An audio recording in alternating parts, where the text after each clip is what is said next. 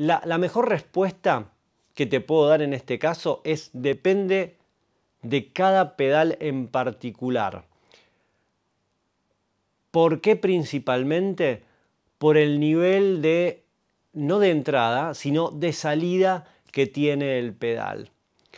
¿Qué pasa? Si vos tenés, generalmente cuando vos tenés un pedal que funciona como preamplificador, típico ejemplo que doy siempre, el Series de KSR, tienen un nivel de salida alto, que es lo que necesita un preamplificador.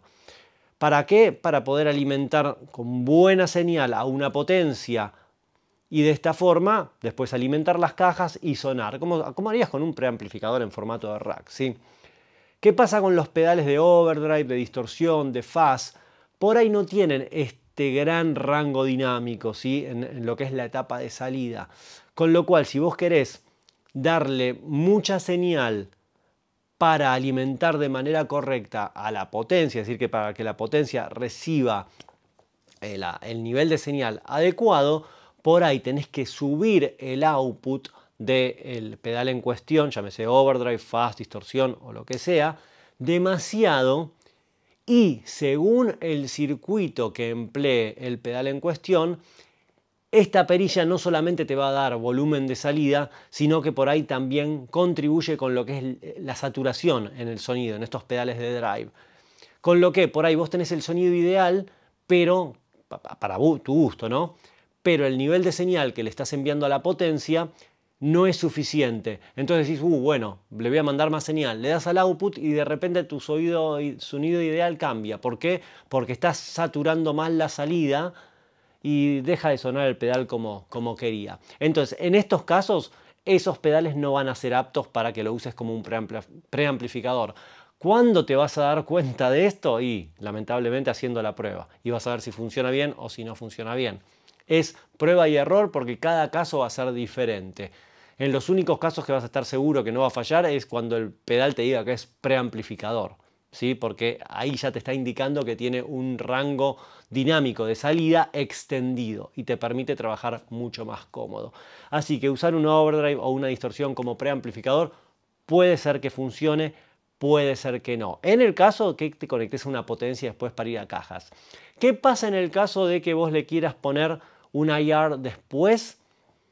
Bueno, tenés dos opciones. Una, gente que manda la señal de línea derecho a la computadora y trata de simular el, impulso con un plugin. Esa es una opción. Segunda opción, usas un pedal que te permite simular la caja y de ahí te conectas a la computadora.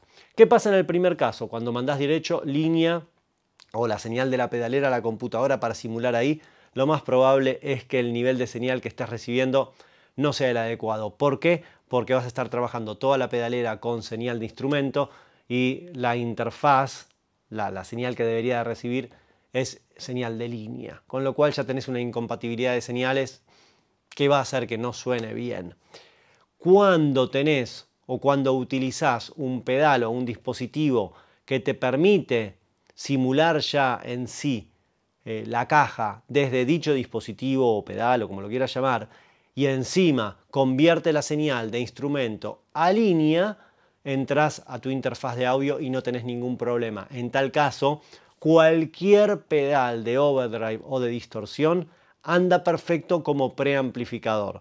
¿sí? Entonces, tened muy en cuenta esto. Si vos querés que cualquier pedal, no importa que sea preamplificador, te funcione como un pedal de preamplificador y querés que no fallar nunca, es decir, jugar a lo seguro, bueno, tenés que agregar un dispositivo que simule la caja y que convierta la señal de, nivel de instrumento a nivel de línea. El mejor que vas a encontrar o la mejor opción que vas a encontrar en el mercado es el Two Notes Torpedo Cabin Más. Ese te va a permitir hacer absolutamente todo con la mayor precisión y calidad sonora. Así que eso es lo que tenés que hacer si vos querés que tu pedalera tenga pedales de overdrive y de distorsión y de fuzz comunes y corrientes, pero vos querés que funcionen como un, o como un preamplificador o como varios canales de un preamplificador. ¿sí? Eh, recordá que en los otros casos puede llegar a andar, pero lo más probable es que tengas discrepancias en los niveles de señal que está esperando un dispositivo del otro y esto haga que las cosas no suenen del todo bien.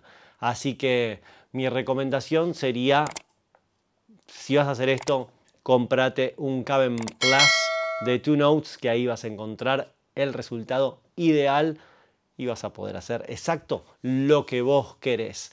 Eh, así que es más allá de si es recomendable o no, es cómo vas a conectar el resto de las cosas para ver si, si logras un buen resultado o no. Así que espero con eso haber aclarado tu duda.